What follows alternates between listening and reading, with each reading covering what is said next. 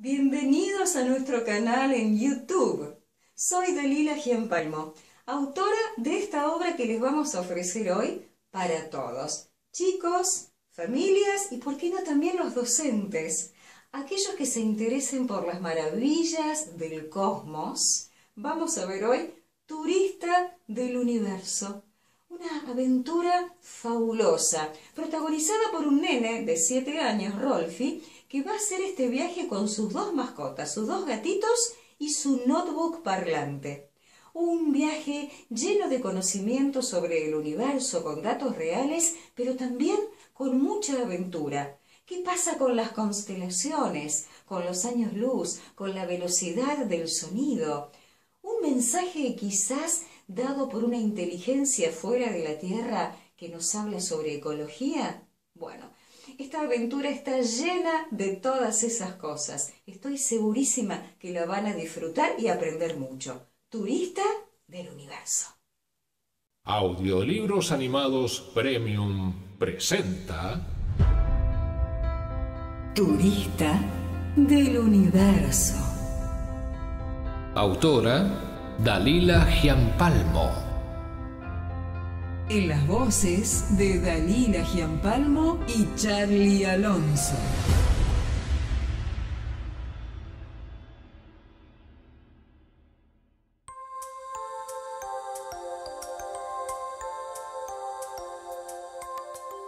Rolfi es un simpático e inteligente niño de 7 años de activa imaginación. Una noche después de cenar, quiso quedarse en el living de su casa para mirar una película espacial en la televisión. Pero su mamá le dice que ya es tarde y lo apaga.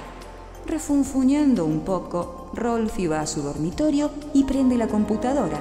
Y como quedó entusiasmado con la película, empieza a buscar imágenes de planetas, de naves espaciales y dibujos de extraterrestres. Estaba muy entusiasmado seleccionando imágenes cuando... Rolfi, si no querés dormir, prefiero que leas. Ahí hay un montón de libros. ¿Por qué no lees alguno? Uy, bueno. Pero, Rolfi, si a vos te gusta leer, y además leer es muy importante, te permite jugar con toda tu imaginación. Igual que cuando te cuento cuentos, vos te vas imaginando todo lo que yo digo, ¿o no? Un libro es un pasaporte a la fantasía, hijo. Hasta mañana. Revolviendo en la biblioteca, Rolfi encuentra un libro de astronomía. Sonriendo se lo lleva a su cama y empieza a leerlo con entusiasmo, aunque ya tiene un poco de sueño.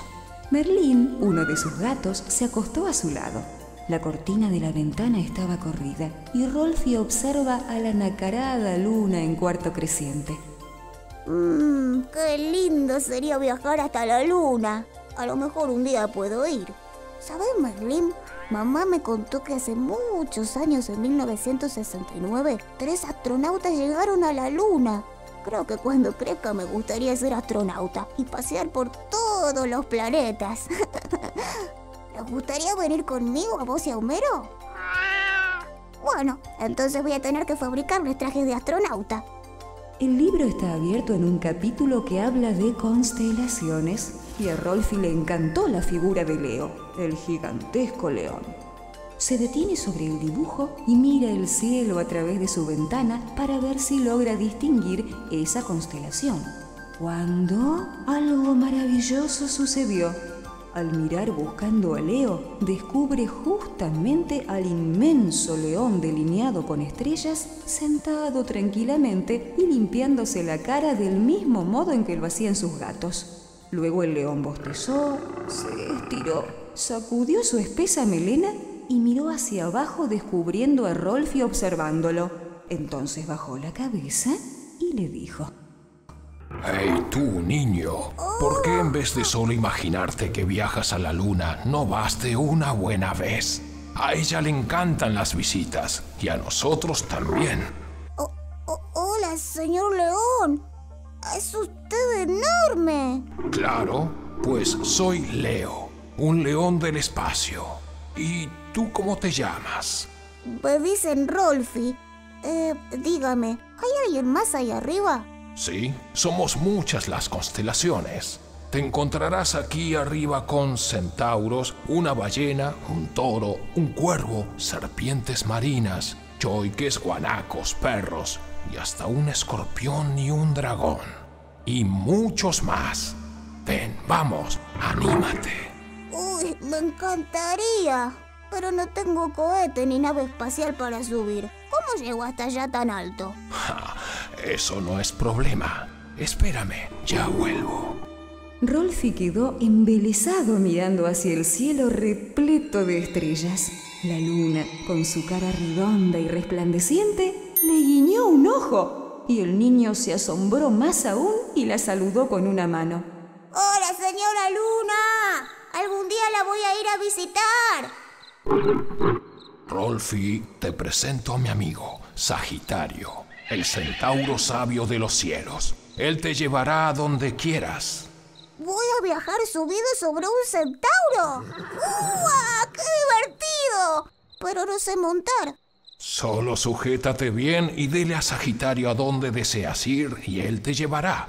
Súbete ahora al borde de la ventana que él te ayudará a que lo montes.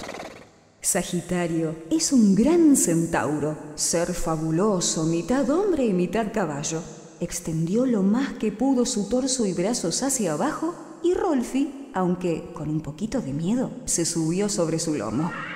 Leo, le prometí a mis gatitos Merlín y Homero que un día viajarían conmigo al espacio. ¿Pueden venir? Claro que pueden. Además somos parientes. Ellos son felinos al igual que yo. Nos llevaremos muy bien. Ah, otra cosita. ¿Puedo llevar también a Alex? Es mi compu portátil. Él me ayuda mucho con las tareas del colegio y sabe mucho sobre el espacio. ¿Sí? Muy bien, todo está listo. Podemos comenzar a viajar. Sagitario, llévanos por favor hasta la luna. Sagitario y Pegaso comenzaron a correr a una velocidad impresionante, tanto que las estrellas parecían deslizarse por todos lados como fuegos artificiales. Lejos de asustarse, Rolfi, Merlín y Homero lo disfrutaban mucho. Esto es increíble. Mi mamá y mis amigos no me van a creer cuando les cuente que estoy viajando por el universo. Alex, me gustaría saber a qué velocidad estamos corriendo. Estamos desplazándonos al 95% de la velocidad de la luz. Ah, ¿y mm, a qué velocidad corre la luz? A 300.000 kilómetros por segundo. El 95% de esa velocidad son 285.000 kilómetros por segundo. ¡Uah! ¿Escucharon Homero y Merlín? Estamos corriendo a 285 mil kilómetros por segundo. A esa velocidad llegamos pronto a cualquier parte. Depende de a dónde quieras ir. El universo es inmenso. Si deseas, por ejemplo, visitar la galaxia de Andrómeda, aunque corriéramos exactamente a la velocidad de la luz, tardaríamos 2 millones de años en llegar. Para que lo entiendas mejor, Andrómeda está a 2 millones de años luz del sistema solar. Uy, eso es demasiado tiempo. Creo que elegiré visitar lugares más cercanos. Sagitario, seguido por Pegaso, giraron y entonces Rolfi pudo ver al planeta Tierra completo. Miren nuestro planeta, gatitos. ¡Qué lindo! El planeta Tierra es el más hermoso del sistema solar y quizás del universo para mí. Los tres miraron a la Tierra, una gigantesca esfera azul llena de vaporosas nubes deambulando por su superficie.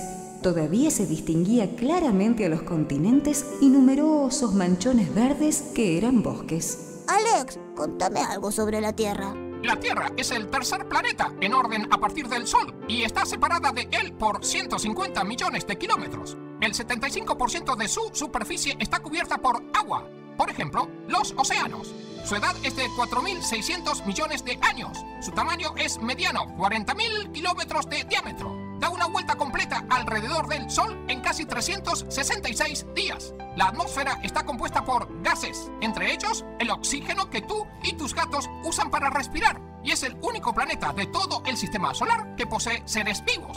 Esto es solo algo de la Tierra. Gracias, Alex. Y tenemos que cuidar mucho a nuestro único planeta hogar, ¿no es cierto? Afirmativo. Hay humanos que la dañan mucho y olvidan que es el único lugar de todo el universo donde tanto ellos como todos los otros seres vivos pueden existir. Hay que cuidar mucho el agua, el suelo y el aire. elementos indispensables para el normal desarrollo de todos. A medida que se alejaban de la Tierra, Rolfi sintió latir fuerte su corazón al comprender lo bello, frágil y único que era nuestro mundo hogar. La observó un rato hasta que... Miren, gatitos allá. Nubes. No sabía que había nubes en el espacio. Eh, ¿Por qué hay nubes, Alex? Esas no son nubes, Rolfi, aunque de lejos se parecen. Nada tienen que ver con las nubes de vapor de agua que ves en los cielos de la Tierra. Esos objetos son las nubes de Magallanes. Y las llamaron así porque en la antigüedad la gente también creyó, como vos, que eran nubes comunes. En realidad son dos galaxias irregulares satélites de nuestra galaxia Vía Láctea. ¿Son galaxias? Pero no entiendo eso de que son irregulares y satélites. Hay varios tipos de galaxias, espirales, ovaladas e irregulares. Estas no tienen formas definidas. Parecen simplemente enormes salpicones de estrellas. Y dije que son satélites de nuestra Vía Láctea porque son las galaxias más cercanas a la nuestra. Ambas están conformadas por miles de millones de estrellas, solo que debido a su gran distancia en el espacio, desde la Tierra las vemos como nubosidades. La nube mayor de Magallanes está a 170.000 años luz de la Tierra y la menor está a 190.000 años luz. Estamos viendo otras galaxias. ¡Fabuloso! Merlín, Homero, miren. Vamos llegando a la luna. Sagitario, seguido por Pegaso, comenzaron a descender hasta tocar el suelo lunar. ¡Hola, señora Luna! Cumplí mi promesa y vine a visitarla con unos amigos. Tenía muchas ganas de conocerla. ¿Podemos bajar, Sagitario? Rolfi, Homero y Merlín bajaron y pisaron la superficie lunar. Había rocas y polvo por todas partes. También se veían grandes agujeros y montañas a lo lejos. Les resultaba difícil caminar y si daban un pequeño saltito quedaban flotando unos segundos. Homero y Merlín justamente dieron un brinco y quedaron flotando a unos 6 metros de altura para después bajar lentamente. ¡Tengan cuidado! ¡Se van a lastimar! Decime, Alex, ¿por qué nos cuesta tanto caminar? ¿Y por qué quedaron mis gatos flotando? Es debido a la fuerza de gravedad. Como la Luna tiene apenas una sexta parte de la fuerza de gravedad terrestre, todas las cosas pesan mucho menos. Por ejemplo, si tus gatos dieran un salto de un metro sobre la Tierra, ese mismo salto aquí sobre la Luna es de 6 metros. ¡Ua! Pero no entiendo bien qué es la fuerza de gravedad. La fuerza de gravedad es lo que permite que todos estemos posados sobre el suelo. Vos podés estar sentado sobre tu silla, yo sobre el escritorio, Homero y Merlín sobre la cama. Los vasos permanecen apoyados sobre la mesa, todo debido a la fuerza de gravedad que nos hace pegarnos al suelo. La gravedad también hace que las raíces de los árboles crezcan hacia abajo, que la lluvia caiga sobre los campos y entre muchas otras cosas, que la Tierra y la Luna estén como sujetas una de la otra. Si no fuera por la fuerza de gravedad, absolutamente todo estaría dando vueltas desordenadamente por el espacio en total caos. ¡Uh! Menos mal que existe Doña Gravedad. Si no, mi mamá se volvería loca tratando de ordenar la casa. Ahora lo entendí. ¿Me contás más cosas sobre la luna? La Luna es el único satélite natural que posee la Tierra. Está a 384.401 kilómetros de distancia. No posee luz propia, pero la vemos brillante porque refleja la luz del Sol. Es algo así como un espejo gigante. Todos esos agujeros que ustedes ven se llaman cráteres. Fueron hechos por gran cantidad de meteoritos de todos los tamaños que chocaron contra su superficie. Los meteoritos son rocas que andan flotando por el espacio y cuando pasan cerca de algún planeta, satélite o del Sol, son atraídos por la fuerza de gravedad que los hace cambiar de dirección y muchas veces chocar. El primer hombre que pudo ver los cráteres de la Luna y sus montañas fue Galileo Galilei en el año 1609 con un telescopio fabricado por él mismo. Mientras la Luna gira alrededor de la Tierra, nosotros vemos distintas zonas de su hemisferio iluminado por el Sol, y a eso se le llama fases lunares, cuarto creciente, cuarto menguante, luna llena y luna nueva. La Luna gira alrededor de la Tierra en 29 días y medio. y cumple funciones muy importantes. Por ejemplo, regular las mareas, es decir, las crecientes y bajantes de los océanos. Y esto es solo algo de la luna.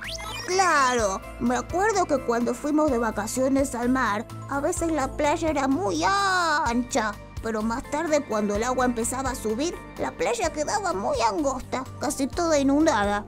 Rolfi se alejó algunos metros observando con curiosidad unos cráteres. Mientras tanto, Merlín y Homero se entretenían manoteando pequeñas piedras lunares que, ni bien eran tocadas, quedaban flotando brevemente y después caían para ser nuevamente empujadas por los traviesos meninos. Leo, que los acompañaba en su viaje, dijo, Ya es hora de seguir viaje, amigos. Regresen. Rolfi guardó algunas piedras lunares pequeñas en su bolsillo y volvió a montar sobre el centauro Sagitario. Homero y Merlín se treparon sobre Pegaso.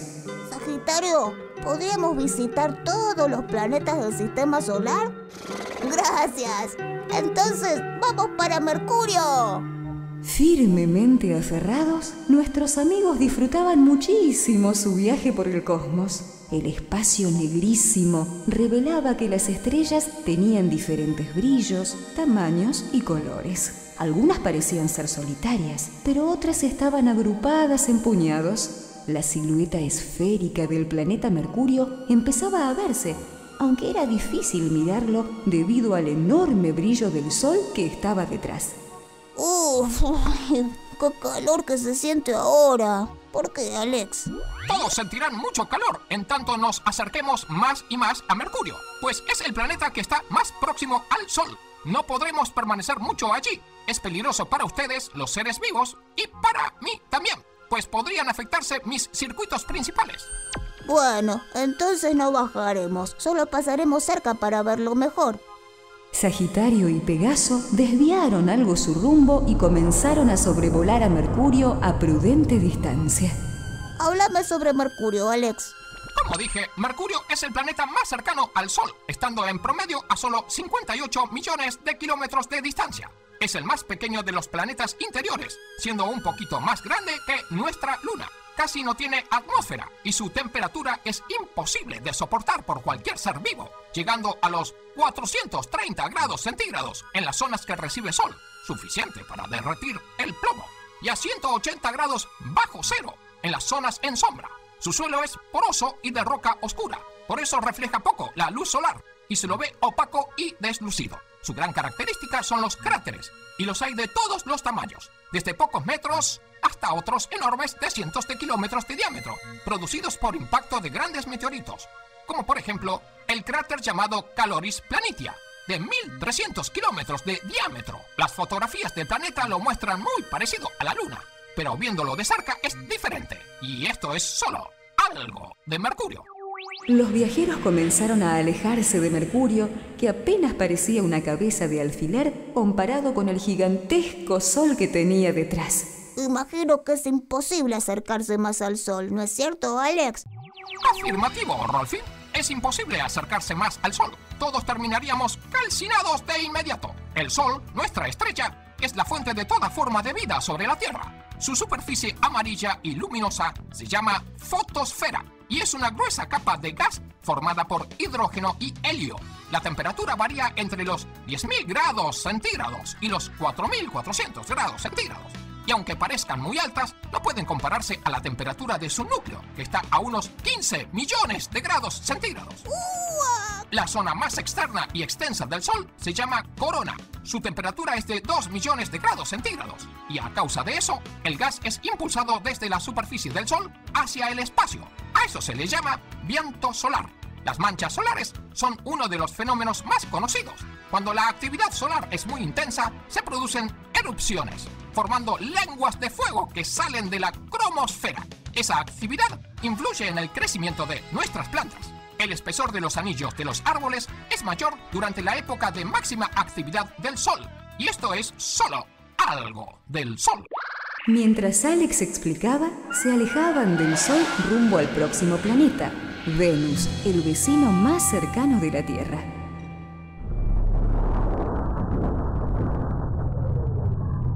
Tampoco podrán bajar sobre la superficie de Venus, Rolfi. Solo podrás verlo desde lo alto. Ufa, qué lástima. Pensé que se podría bajar. Me acuerdo que una vez vi una película de una nave espacial que bajaba sobre Venus y que estaba lleno de mujeres lindas. Entonces eso es mentira, ¿no, Alex? Afirmativo. Era solo una película de ciencia ficción.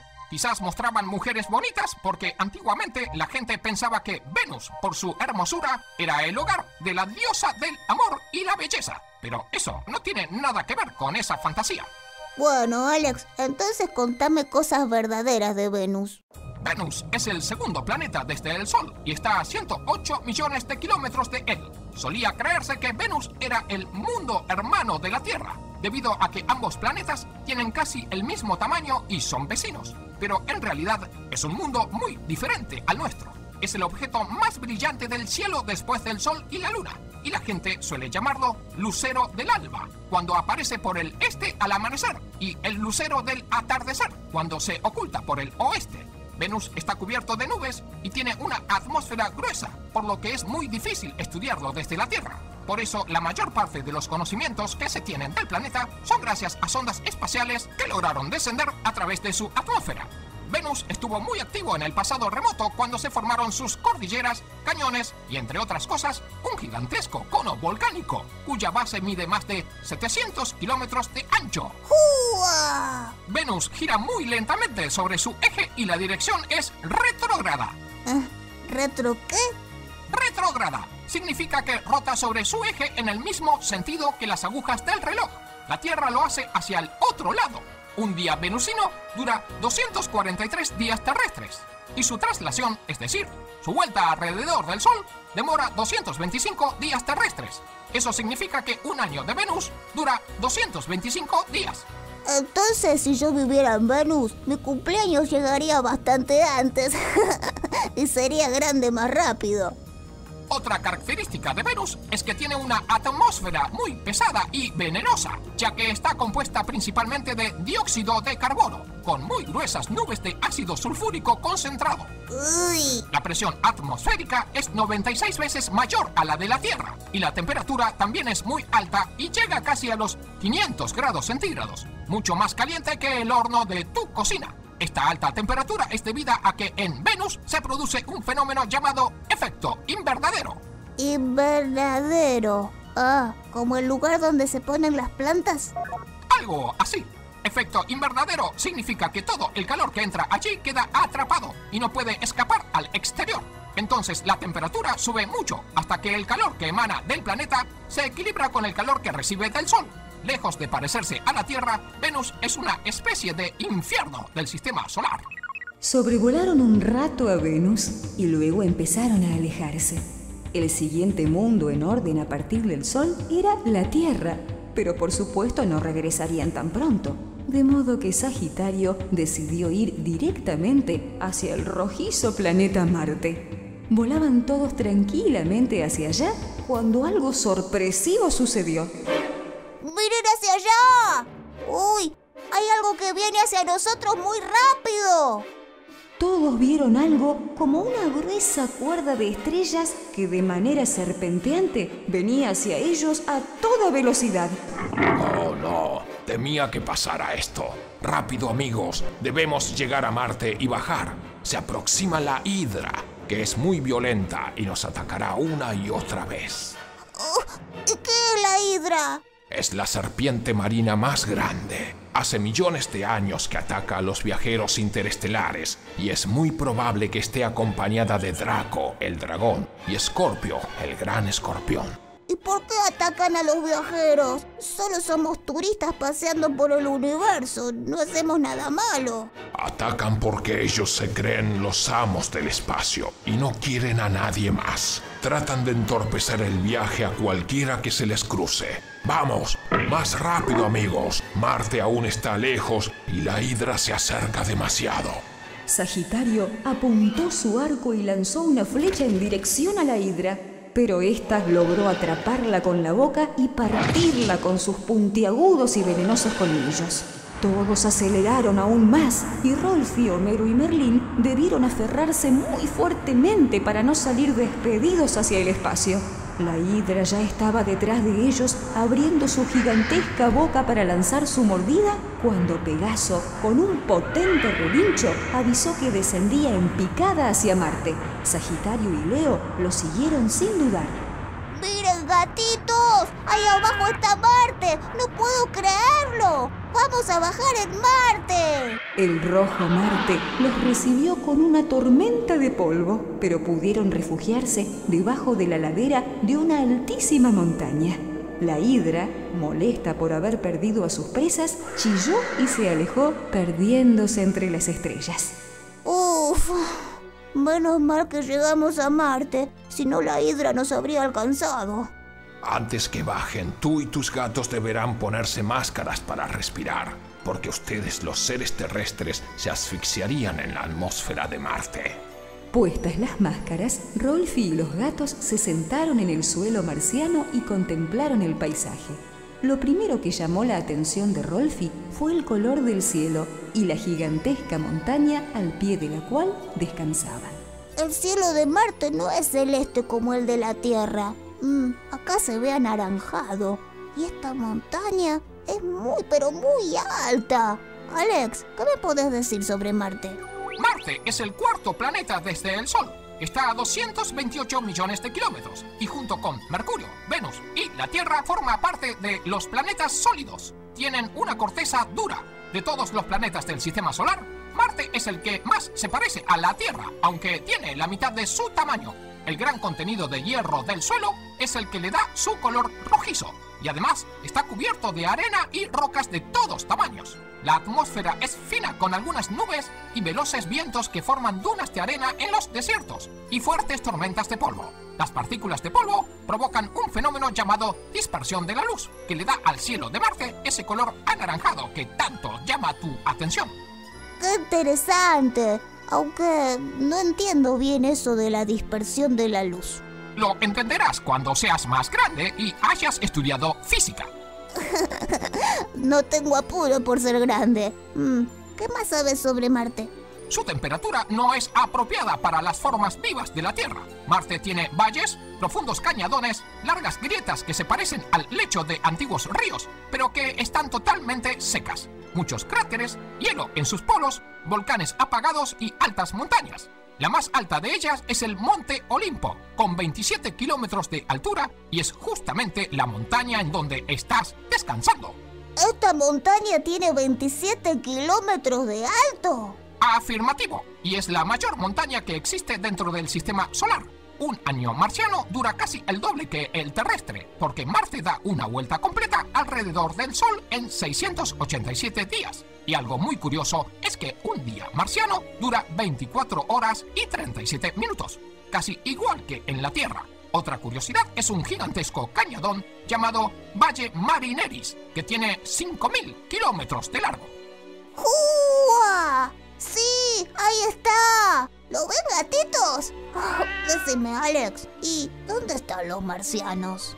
Los marcianos no existen, Rolfi. Son solo producto de la fantasía de los seres humanos. En Marte no hay ningún tipo de vida que se conozca, ni siquiera microbios. Pero quizás en algún remoto futuro puede ser que la vida surja aquí. Por ahora no hay nada, solo montañas, cráteres, rocas, hielo y polvo. Mm, yo lo sospechaba. Siempre le dije a mis compañeros del colegio que los hombrecitos verdes no existían, pero no me creían. Alex, ¿Marte tiene lunas? Afirmativo. Son dos satélites que se llaman Phobos y Deimos. Ah, ¿son aquellas cosas oscuras que se empiezan a ver allá? Afirmativo. Sagitario, ¿qué te parece si vamos a conocer más de cerca a Phobos y Deimos? Todos volvieron a montar y Sagitario con Pegaso volaron hacia las lunas. Phobos y Deimos son satélites pequeños, oscuros y deformados. Y esto es solo algo de Marte. Sí que son deformes, se parecen a papas. Pasaron luego tan cerca de Phobos que Homero y Merlín estiraron sus manitos como queriendo tocarla.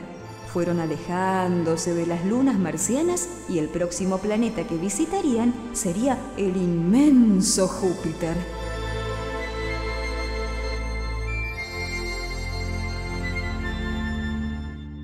Júpiter está bastante más lejos y en el camino deberemos atravesar un sector en donde hay muchos asteroides. Deberemos ser cuidadosos para no chocar con ninguno.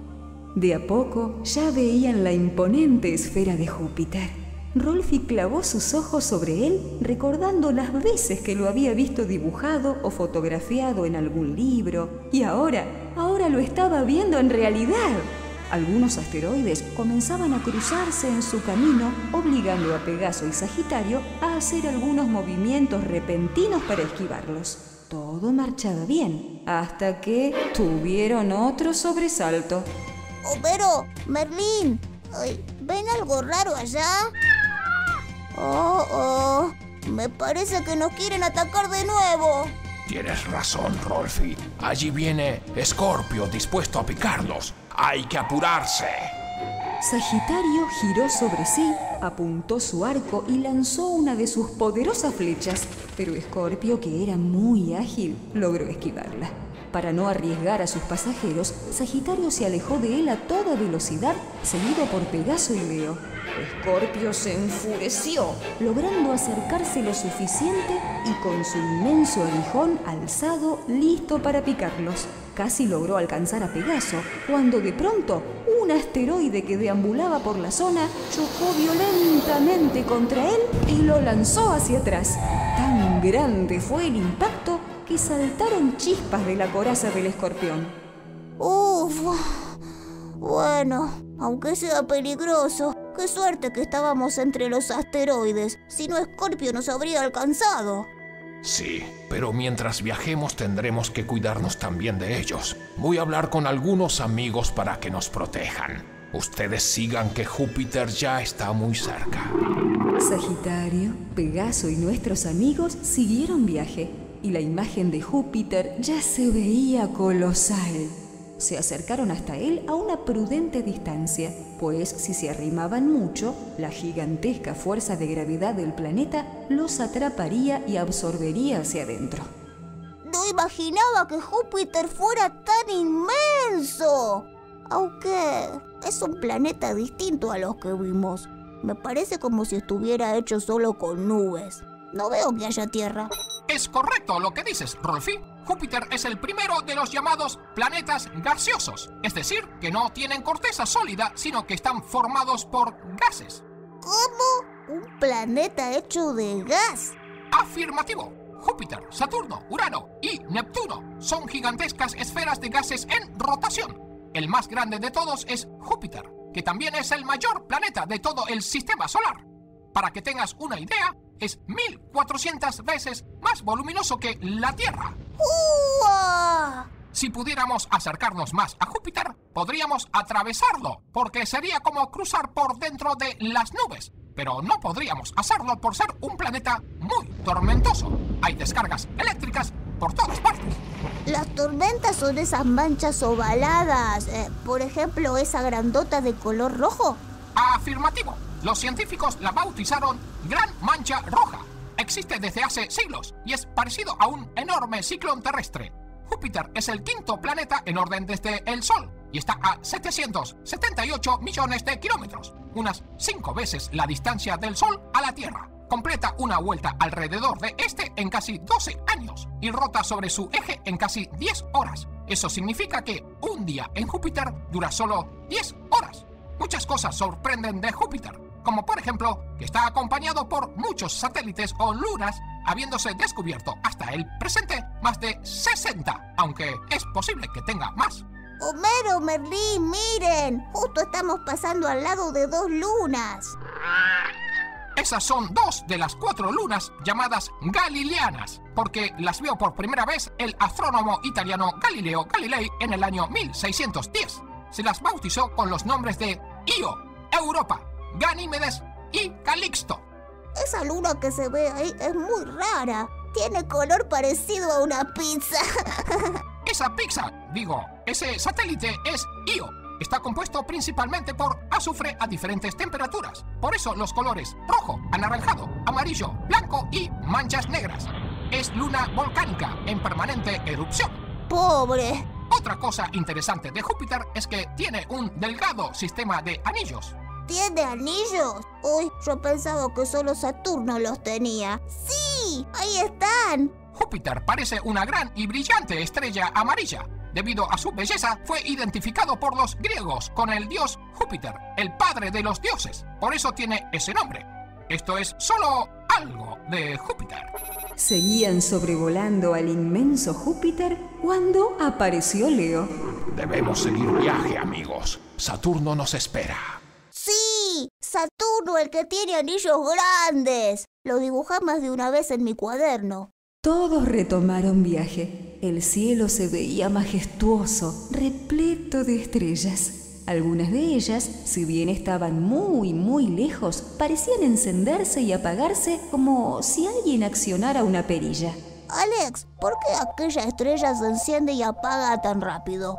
Yo veo a las estrellas titilar desde la Tierra, pero esta titila muy distinto. Las estrellas no titilan, Rolfi. Lo que ocurre es que las ves a través de la atmósfera terrestre y lo que parece titilar es solamente el movimiento de las distintas capas gaseosas de la atmósfera. Esa estrella que ves ahora es diferente a las que sueles observar. Los científicos las llaman pulsar.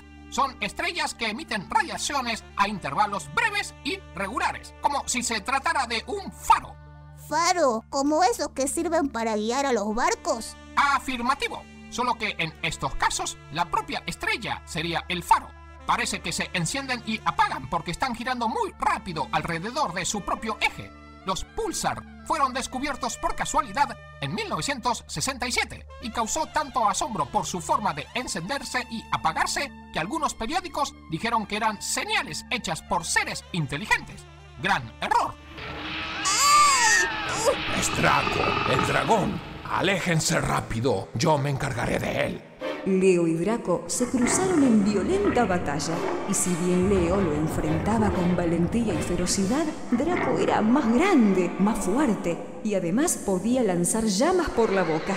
Leo de pronto cayó, y cuando Draco iba a lanzarle sus llamas, una gigantesca flecha llegó desde atrás, clavándose en las costillas de Draco, que se retorció del dolor y lanzó un horrible aullido. Orión, gracias por venir, amigo. Este dragón casi logra vencerme. ¿Estaré envejeciendo? Draco se alejó momentáneamente, pero era probable que regresara. Orión, el gran cazador, se quedó allí vigilando, acompañado de sus fieles perros de caza, el can mayor y el can menor. Leo, uy, ¿estás herido? Ese dragón es muy malo. Estoy bien, Rolfi, pero debemos estar alertas. Draco jamás se da por vencido y seguro regresará con ayuda para atacarnos. Apurémonos para llegar a Saturno. Allí, entre los anillos y las lunas, estaremos a salvo por un tiempo.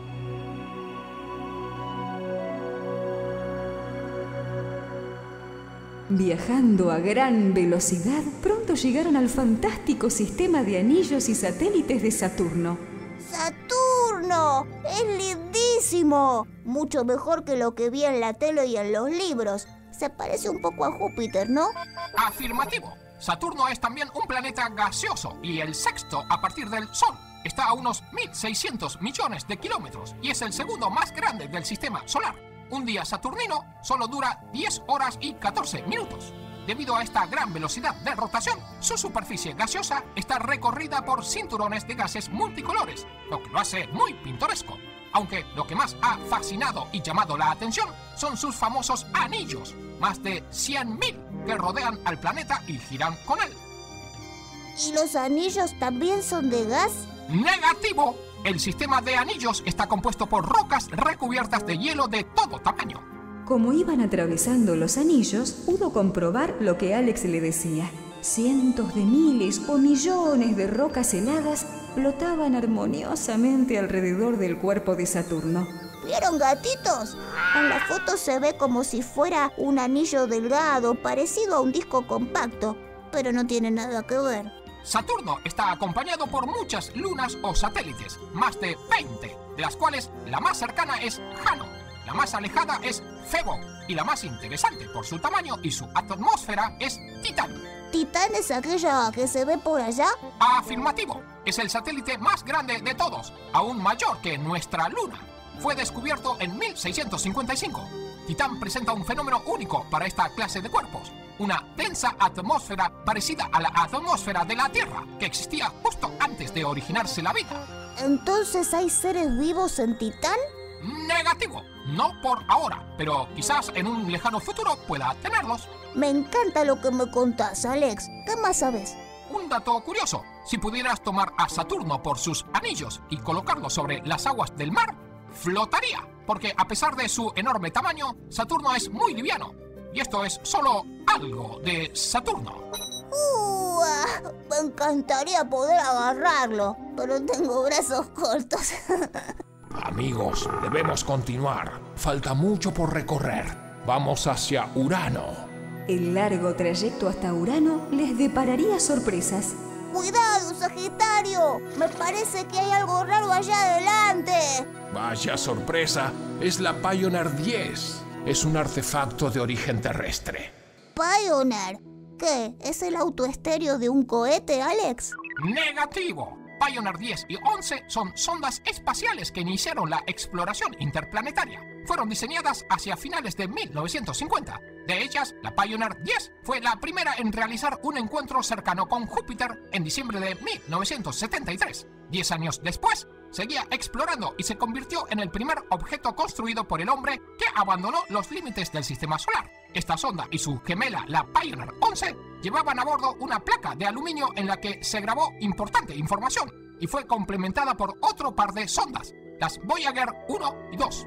Ambas llevaban también un mensaje guardado en un disco hecho con oro que contenía descripciones del género humano, fórmulas físicas, sonidos de la Tierra, saludos en 70 idiomas, música, fotografías de la vida terrestre y, entre otras cosas, la ubicación de la Tierra y del sistema solar con el propósito que quizás algún día estas cuatro sondas fueran descubiertas y comprendidas por otros seres inteligentes del universo.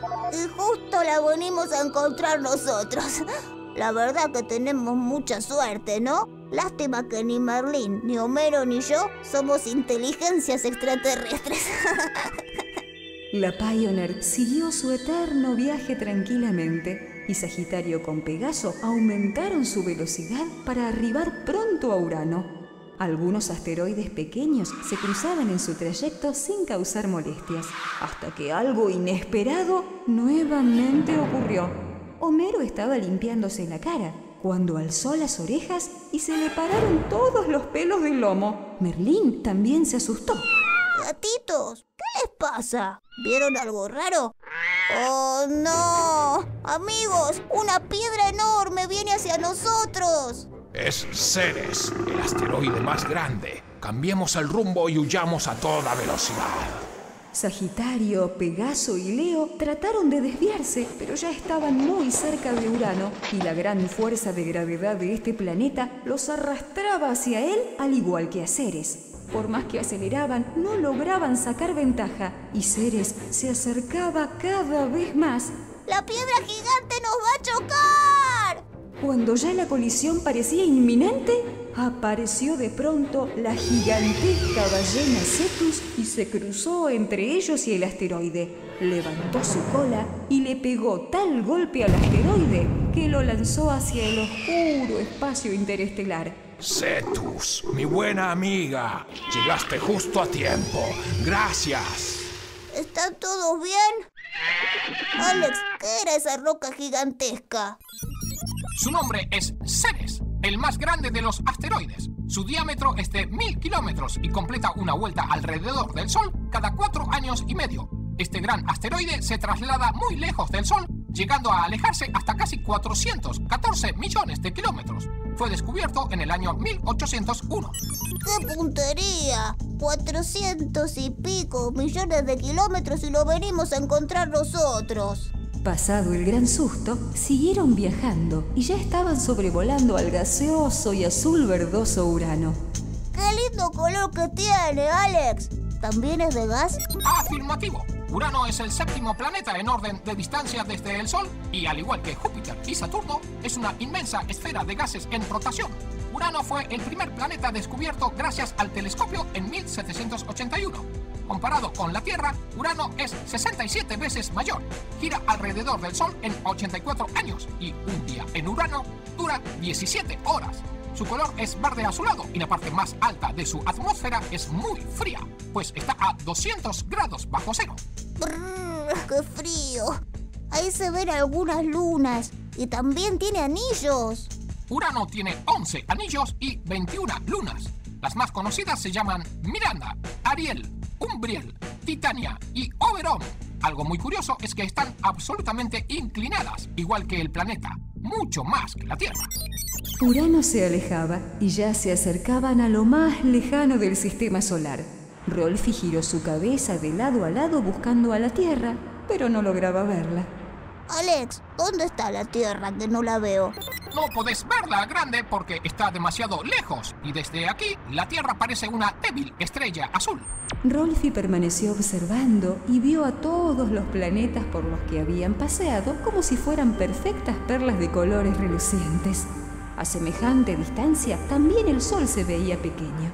El siguiente planeta a visitar era Neptuno, aunque aún estaba lejos. De pronto, una muy brillante estrella blanca llamó mucho su atención. Aquella estrella se parece mucho a una que veo por la ventana de mi dormitorio cuando las cortinas están abiertas. Alex, ¿qué estrella es esa que brilla tanto?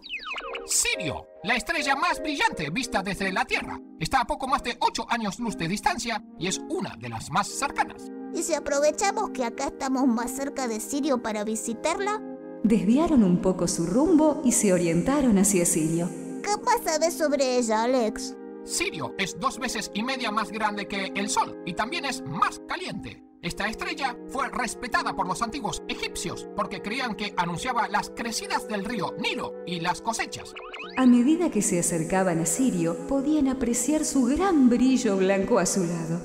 Rolf y Merlín y Homero la estaban mirando cuando Alex comenzó a hacer un ruido extraño. ¡Ey, Alex! ¿Qué te pasa? ¡Alex! ¡Uy! La pantalla se puso azul. ¡Qué raro! ¡Alex! No te rompa justo ahora. ¿Eh? ¿Qué es esto? En la pantalla aparecieron unas raras inscripciones. Eran números, pero solamente ceros y unos que se repetían reglón tras reglón, combinándose de distinta manera. De pronto dejaron de aparecer los números y empezó a sonar una extraña y breve melodía que se repetía. Es divertida la musiquita, pero ¿quién me la está mandando? Acá no hay internet. Tú y tus gatos son muy afortunados, Rolfi, pues están recibiendo un saludo de otros seres inteligentes del universo. Es muy probable que provenga de algún planeta cercano a la estrella Sirio.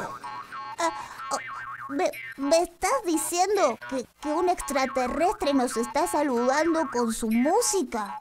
Eso mismo, Rolfi. Y esos números son un mensaje en código binario, que es el mismo lenguaje con el cual tu computadora Alex se expresa.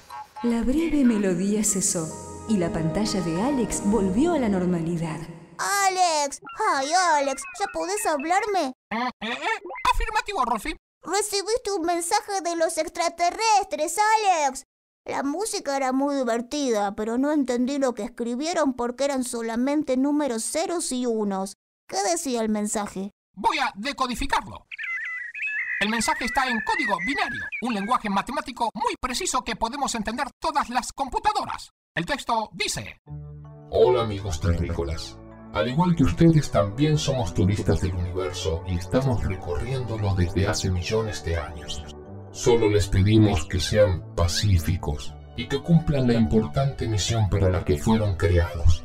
Proteger al planeta en el que han nacido y respetar la vida de los demás seres que lo comparten con ustedes.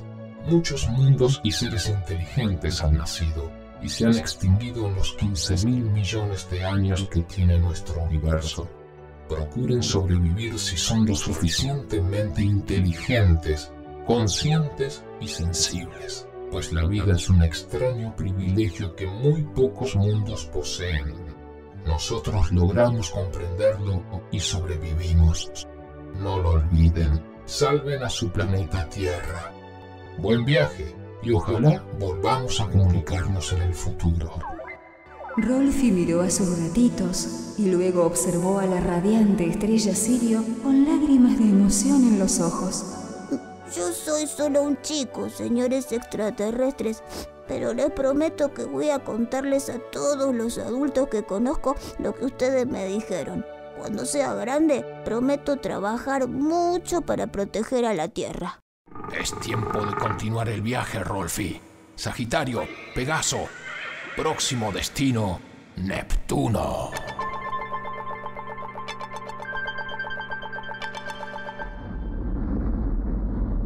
Rolfi volvió a mirar a Sirio y a las otras millones de lejanas estrellas. Las estrellas están por todas partes, no se terminan nunca. Cuando yo era más chiquito me imaginaba que eran como la llama de los fósforos y me asombraba de que nunca se apagaran, ni siquiera cuando había mucho viento. Pero decime, Alex, ¿qué son las estrellas?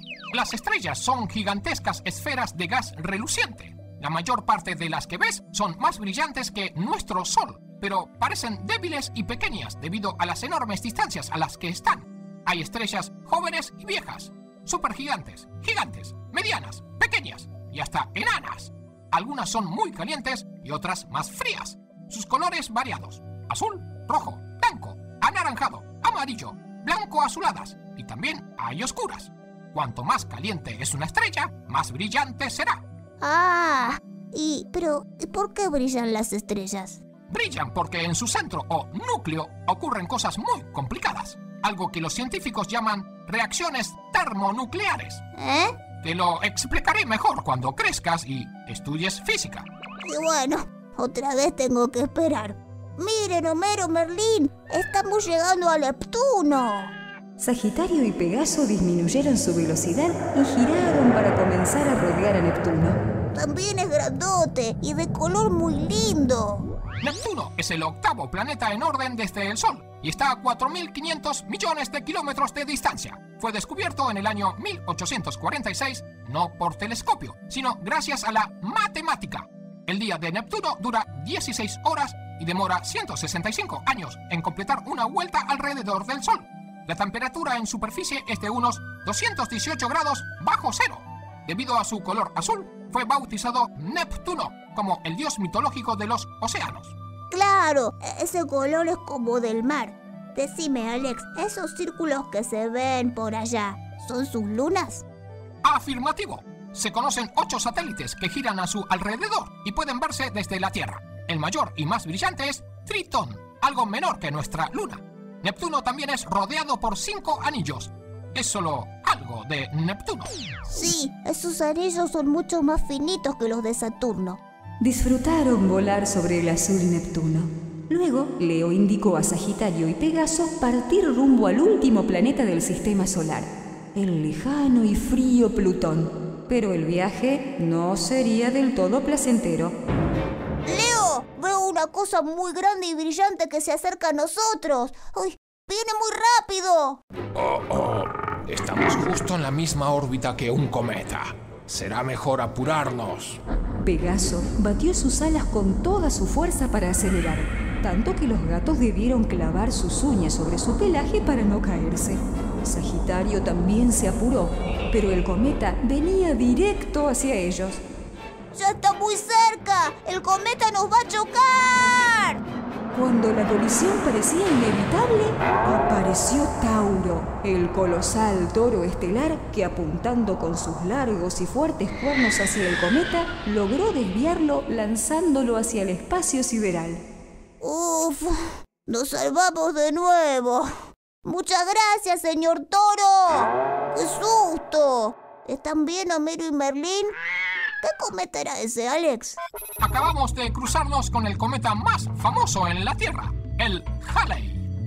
¡Ua! El Halley es un cometa de periodo breve. Significa que gira alrededor del Sol en menos de 200 años y pasa cerca de la Tierra cada 76 años. Cuando se encuentra más próximo al Sol, el Halley está a 88 millones de kilómetros. Y en el punto más lejano está a más de 5.300 millones de kilómetros, entre las órbitas de Neptuno y Plutón, exactamente donde estamos ahora nosotros. Por eso casi nos choca. El cometa Halley tiene núcleo pequeño, de unos 3 kilómetros, y puede describírselo como una gran bola de nieve sucia, formada principalmente por hielo mezclado con granos de polvo. Una bola de nieve de 3 kilómetros a mí no me parece pequeña. Menos mal que Tauro llegó a tiempo, si no estaríamos todos aplastados debajo de kilómetros de nieve. Hace mil años que el cometa Halley orbita el Sol y es posible que volvamos a verlo en el año 2062, si es que aún existe, pues cada vez que pasa cerca del Sol se calienta y evapora mucho de su materia, de ahí su larga cola. Esto es solo algo del cometa Halley. Pasado el gran susto, continuaron su viaje rumbo a Plutón. Mira, Rolfi, ahí está Plutón y su única luna, Caronte. Hola, Plutón. Venimos desde muy lejos a verte. Este planeta es mucho más chico que los anteriores y no me parece que sea de gas. Afirmativo. Plutón es el noveno planeta del sistema solar y es sólido y rocoso. Fue descubierto en 1905 gracias al telescopio del astrónomo Percival Lowell. Plutón da una vuelta alrededor del Sol en 248 años a una distancia media de 5.900 millones de kilómetros. Como dijo Leo, posee una única luna, Caronte. Mide aproximadamente la mitad del planeta. Plutón tiene una atmósfera muy fina y su superficie está cubierta de un gas llamado metano en estado de hielo a 200 grados bajo cero. Algunos astrónomos piensan que Plutón perteneció a una familia de asteroides ubicada más allá de la órbita de Neptuno. Y esto es solo algo de Plutón. Terminado el recorrido por todos los planetas del sistema solar, Rolfi seguía entusiasmado por conocer más maravillas del universo. Fijó su mirada en el infinito espacio y descubrió un apilado grupo de estrellas azules. Parece muy interesante aquel grupo de estrellas. ¿Las podemos ver más de cerca? No estoy seguro que sea buena idea ir hasta allá. Podríamos provocar una estampida. ¿Una estampida? No entiendo. Bueno, eh, probemos de todos modos. Vamos, ya verás. Pegaso y Sagitario dirigieron el vuelo hacia el grupo estelar elegido por Rolfi. Uy, miren gatitos, esas estrellas azules y brillantes se parecen mucho a... a cabras. A eso me refería. Son los siete cabritos. No deseo asustarlos, suelen tenerme miedo, pues soy un león. Fueron acercándose prudentemente hasta que Rolfi pudo ver al grupo de cabritos que yacía tranquilamente pastando. Pero ni bien notaron la presencia de ellos y en particular de Leo, empezaron a balar alarmados. Huyeron en estampida. ¡Oh, se asustaron! Hay que reunirlos otra vez. Pegaso, Sagitario, vamos a buscarlos o se van a perder. Pediré ayuda al can mayor y al can menor para reunirlos. Pero ellos son perros de cacería. Sí, pero solo se comportan como perros de caza cuando Orión se los ordena. Si no, son perros inofensivos. Leo fue en busca de los perros, en tanto Pegaso los rodeaba por un lado y Sagitario por el otro. Al llegar los canes, fueron a buscar a los cabritos más alejados. Leo se apartó para no provocar más pánico. Eso es, amigos. Ya están casi todos reunidos. Solo faltan aquellos dos. Vamos, cabritos, hacia allá, allá. Ahí están tus compañeros. Listo, ya están todos juntos otra vez. Muchas gracias, Can Mayor y Can Menor. Reunidos los siete cabritos, continuaron su paseo estelar. En un momento comenzó a, nublarse. ¡Uah! ¡Qué nube gigante! Hasta tiene estrellas dentro. ¿Qué es, Alex? Estamos en la nebulosa de Orión, una inmensa nube de gases y polvo interestelar. Dentro de ella se están formando nuevas estrellas. Para que lo comprendas, Rolfi, es algo así como una maternidad de estrellas. Podés verla desde la Tierra con telescopio pese a que está a 1500 años luz de distancia. Hay muchísimas nebulosas en el universo, aunque esta es muy estudiada por astrónomos. Rolfi, debemos iniciar el regreso, tus padres se preocuparán. Y Homero y Merlín deben tener hambre. Tienes razón, Leo, pero qué lástima que se acabe el viaje. Quisiera recorrer todo el universo. Habrá otra oportunidad. Sagitario, Pegaso, volvamos a la Tierra.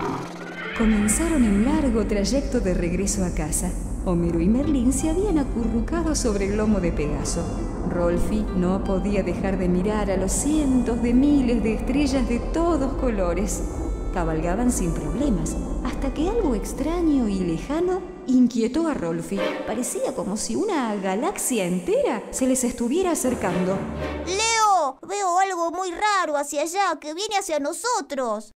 Ahora sí que estamos en problemas, Rolfi. Rápido, toma a Alex y pásate al lomo de Pegaso. Sagitario pronto entrará en batalla. ¿En batalla? ¿Qué pasa? Vienen hacia nosotros Draco el dragón, Hidra la serpiente marina y Escorpio, todos juntos para atacarnos. Quieren impedir que te llevemos de regreso a la Tierra. Rolfi tomó a Alex, subió sobre Pegaso y abrazó a sus gatitos Merlín y Homero para protegerlos. Los tres monstruos estelares ya estaban cerca. Pegaso batió sus alas a gran velocidad tratando de alejarse del peligro. Sagitario, ocúpate de la Hidra. Yo enfrentaré a Draco. Una descomunal batalla estelar comenzó. Draco se abalanzó furioso contra Leo, quien se defendía y contraatacaba con sus poderosos dientes y zarpazos. Sagitario lanzaba flechas contra la hidra, y aunque algunas se clavaban en ella, la feroz serpiente marina intentaba envolver con su cuerpo al centauro. Escorpio se sumó al combate, y viendo a Leo y Sagitario en batalla, decidió ir en busca de Pegaso. Veloz como la luz, ya estaba muy cerca y dispuesto a clavarle su venenoso aguijón, el cual fue detenido por los poderosos cuernos de Tauro, el toro, que lo pinchó en un costado y lo volteó. Furioso, Escorpio se incorporó y atacó a Tauro. Leo, por su parte, fue volteado por Draco, y cuando el dragón se disponía a envolverlo con su aliento de fuego, tres certeros flechazos lanzados por Orión que acababa de llegar se clavaron en sus costillas haciéndolo rugir horriblemente. En ese momento aparecieron también el can mayor y menor, sus fieles perros de caza, y sujetaron las patas delanteras del dragón con sus poderosas mandíbulas. La hidra, mientras tanto, continuaba con Sagitario, quien gastó sus flechas. Rolfi, desde lejos y montado sobre Pegaso, levantó su voz todo lo que pudo y dijo: ¡Sagitario! ¡Detrás tuyo están las boleadoras del cazador! Sagitario vio las boleadoras, pero éstas todavía estaban lejos de su alcance. Corrió a gran velocidad hacia ellas cuando apareció el gran cuervo, que, lanzándose a vuelo rasante, asió a las boleadoras con su fuerte pico y se las entregó a Sagitario, quien de inmediato las revoleó y lanzó contra la hidra. Lograron así detener a la serpiente marina. Leo, Orión y los perros de caza seguían luchando contra Draco y Tauro continuaba su batalla con Escorpio. Llegó entonces el guanaco a toda carrera y cruzó por delante del dragón para distraerlo. Draco, furioso, olvidó por un momento a Leo y Orión para perseguir al guanaco.